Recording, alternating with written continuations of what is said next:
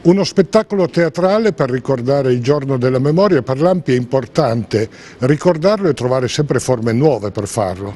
Ma eh, questo è immancabilmente, noi abbiamo un gruppetto che lavora proprio per cercare queste soluzioni, noi eh, tutti gli anni cerchiamo di fare qualche novità nell'ambito della, de, de, del giorno della memoria, eh, come il 25 aprile lo facciamo per i ragazzini, per delle scuole, il giorno della memoria vorremmo ricordarlo in maniera un po' particolare. Speriamo che la gente ci segua e che partecipi anche lei a questa, questa ricorrenza, perché è una cosa importante non perdere la memoria di questi, di questi periodi. Ecco.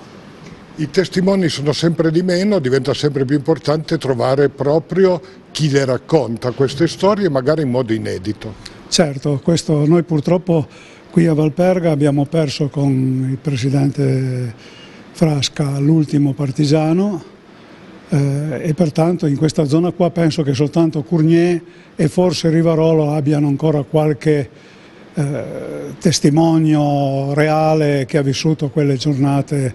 Noi purtroppo quelli come me li hanno vissuti da ragazzini, non, non partecipando sicuramente a queste, a queste battaglie, ecco, diciamo così, per liberare questo nostro paese. Ecco. Come nasce questo spettacolo e perché? Nasce per mio volere. E ho letto la biografia di questa meravigliosa donna e ho chiesto di scrivermi questo testo ed è, è nato per un mio desiderio.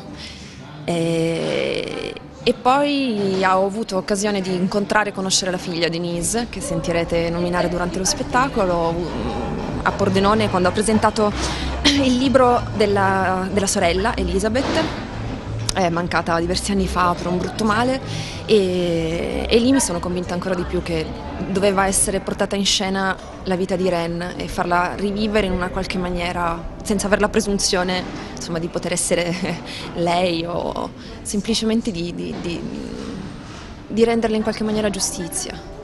È difficile dare forma a un testo come questo? Sì. Mm, allora, fino al momento in cui ho incontrato Denise eh, non, non, non, non, ci avevo pensato in realtà a, quanto potesse essere difficile o comunque quanto potesse in realtà coinvolgermi in maniera personale.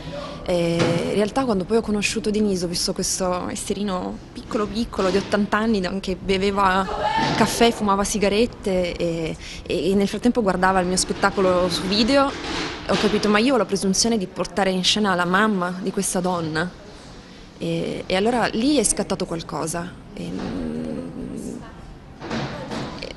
qualcosa che va oltre il teatro, che va oltre il desiderio di portare in scena un testo, che va oltre la recitazione. È diventata una forma di rispetto verso, verso di lei, verso il suo essere, verso quella che è stata e verso le figlie e verso l'amore che, che, che, hanno avuto le figlie nei suoi confronti che ha fatto sì che la madre potesse rinascere, rivivere, perché era caduta completamente nell'oblio, nell'oblio Irene Mirovsky dopo la seconda guerra mondiale e loro hanno ritrovato questa valigia che era stata lasciata appunto dalla, dalla madre e, mm, dove appunto raccontano, loro pensavo fosse una cappelliera. Mm, c'era un libro che era suite francese ed era il libro incompiuto di René Mirovski che stava scrivendo nel momento in cui è stata deportata. E hanno deciso di, di, di far sì che la madre potesse rinascere attraverso la sua scrittura, che, che, che, è la cosa principale, quindi al di là del, di quello che è successo, questa donna va ricordata per i suoi scritti, per quello che lei ha lasciato ai posteri come, come scrittrice, come donna. Uno spettacolo che ruota quindi attorno a una macchina da scrivere.